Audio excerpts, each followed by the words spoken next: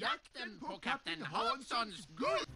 Usch vad tråkigt allting är. Undrar vad Rabalder och Kapten Hansson gör. Är du redo kapten? Jajamän! Alltid redo! Jag har gjort guld! Ah, Slår hem guld! Ett guld! Bronsar upptäckt Hanssons guld! Är det sant?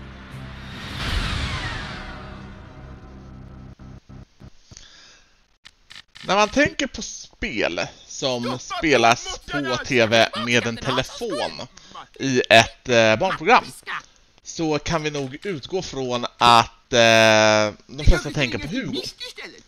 Hon kan ju inte flyga matta! Men det kan ju inte vi heller. Mattpiska! Men banne mig om inte Rummel och Rabalder var ett spel som överlevde längre i den genren, i alla fall i svensk TV.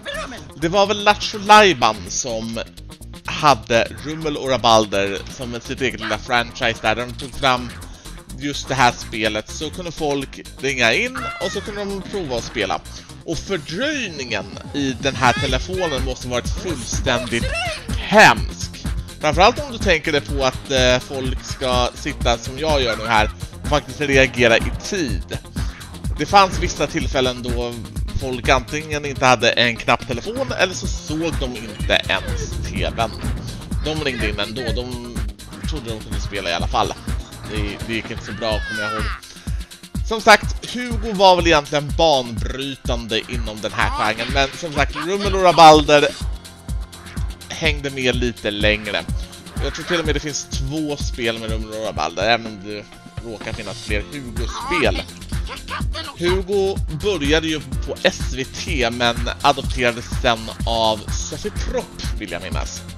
Och ni får ursäkta att jag går helt efter minnet här.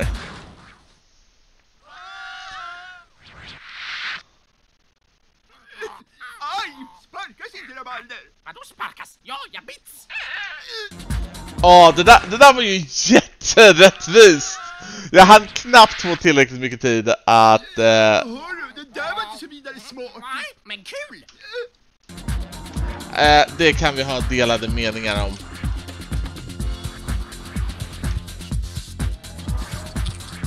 Så.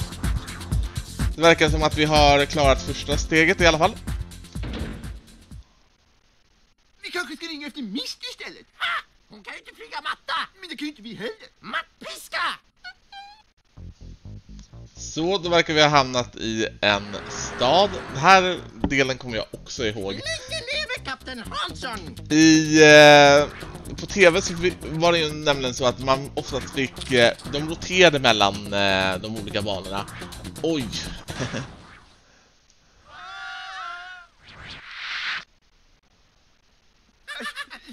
Vad håller du på med? I alla fall, när jag var yngre så tänkte jag ju då givetvis att det här måste vara skitenkelt. Och det, det tror jag nog att de flesta personer som tittade på Rumor Rabald Rabalder eller Hugo tänkte att nej men det här måste ju vara enkelt. Och jag får väl egentligen säga så här att spelet är väl kanske inte sådär jätteenkelt. Jag är verkligen förbannat trött just nu. Jag har inte sovit så mycket så bra men... Eh, I alla händelser så det är liksom ingenting speciellt när man väl får in grooven för ungefär när i tid man måste trycka och sen så får man inte gå efter några onödiga ostbågar heller. Men utöver det så går det, går det faktiskt rätt bra.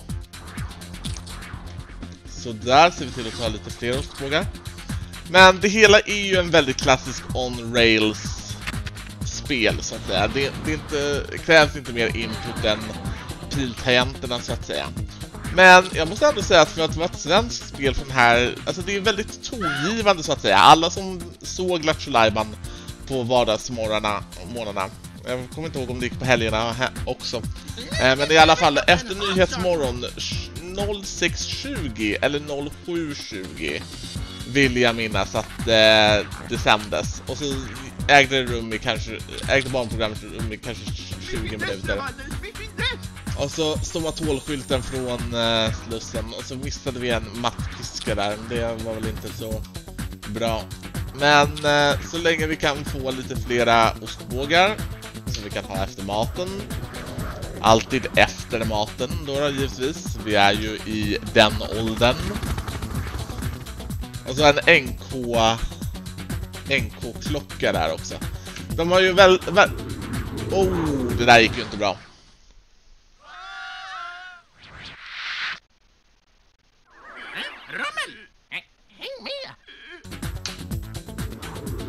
Nej, inte igen! Typiskt! Jag suger på det här. Oj, gick visst snett. Som vanligt.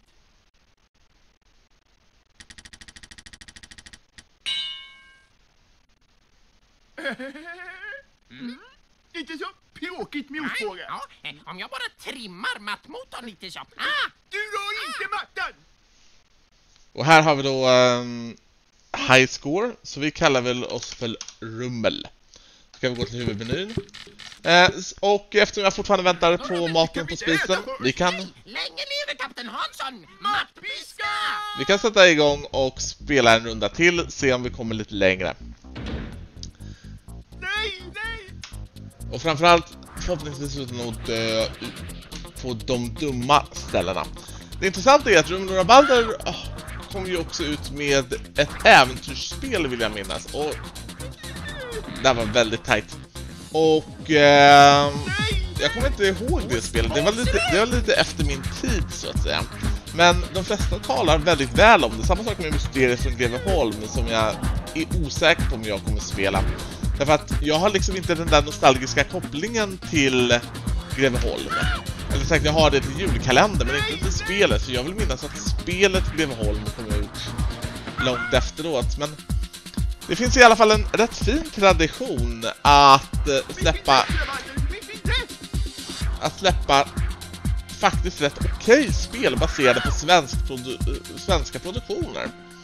Och det måste jag ändå beundra någonstans. Rumble Rabaldi är ett bra exempel på en svensk produktion som uppenbarligen överfört sig väl som spel. Aj då. Man får komma ihåg att man inte får köra mattan. Min nos, min vackra nos! Ah, Rummel, din nos är stor. Inte vacker. Va? Det här var väl lite väl elakt. Så, då är vi på väg mot utgången. Man kan inte klaga över musiken heller. Är du redo, Rummel? Kan vi inte äta först? Nej, länge leve kapten Hansson! Mattpiska! Jag har helt glömt bort vem Kapten, Ka- äh, Kapten Hansson var. Men eh, enligt introsekvensen så måste han varit den där fisken. Hur han kom att vara den där fisken, det kommer jag inte ihåg. Och jag har en känsla av att jag egentligen inte vill veta. Jag kommer... Å andra sidan, alltså som sagt, jag växte snarare mer upp med Sofie Propp. Jag hade till och med klasskamrat som var med i Sofie Propp när de var på bakelseplaneten. Och eh, då hade de det här, någon, som, någon skurk som gick omkring i Darth Vader-kostym. Som hette någonting annat. Jag kommer inte ihåg, men han, han var en väldigt lös parodi på Darth Vader. Det var som att de inte ens försökte. Hur de kom, idag hade de aldrig kommit undan med det, men på 90-talet kom man tydligen undan med att Sofie Propp hade en arvsfiende som var i princip Darth Vader. Det... Och det intressanta var ju att det programmet riktade ju sig lite bortom bortom eh, vad man skulle kunna säga. Alltså det var ju inte folk som faktiskt tittade på Star Wars som visste vem Darth Vader var eller något sånt. Så det kändes som att man liksom utnyttjade det faktum att de flesta barn som tittade på Star Wars var för unga för att veta vad Star Wars var för någonting. De kanske hade Star Wars-leksaker, visst, men att ha leksakerna betyder inte nödvändigtvis att man visste vad franchiset var. Jag hade en Godzilla som jag trodde var en Tyrannosaurus in i det längsta, så där har ni liksom den... Oh, jag trodde nästan vi skulle plocka in i den där, men det går utan tvekan bättre för oss. Vi har tre mattpiskor och nu ska vi bara ta oss över den här klockan här. Och så får jag komma ihåg att... Sådär, det gick bra. Man får ibland tänka sig att saker är lite är större än vad de verkar att vara. Och man får ta, försöka ta lite höjd för det. Så, då verkar vi ha kommit vidare till nästa sekvens. Nu gäller det! Nu smäller det! Nu händer det! Mattpiska!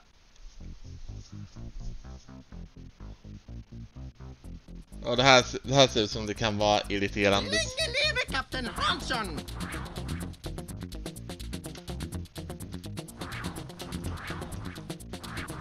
Oops! Alltså jag såg knappt vad det var jag kraschade in i. Såg ut som en flock fåglar. Tänk om man skulle... Aj! Varje gång du tänker slutar med katastrof!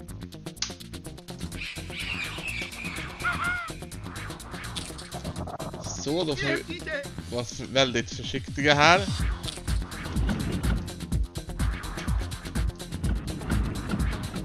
Ah! Vi är på Kolmården.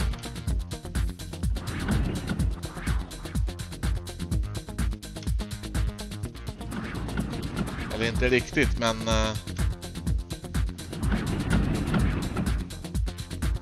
Knuffas inte rabalder!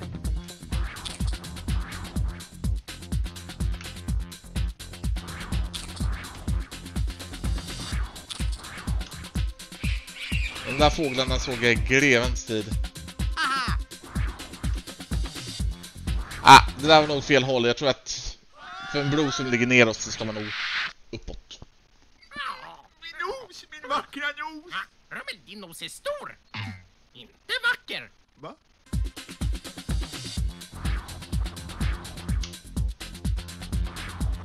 Sådär ja, då ska vi också undvika... Alltså det, det är lite svårare att se på den här banan. Jag vet inte om det har att göra med min upplösning att göra, men... Någonting, någonting konstigt är det i alla fall. Jag vet faktiskt inte hur lång tid, lång tid det här spelet ska ta att klara, eller ens hur många nivåer det finns. Så det kommer bli intressant. Oj! Och jag misstänker att vi inte kommer klara det möjligtvis den här genomspelningen. Häng med! Aj! Samma misstag.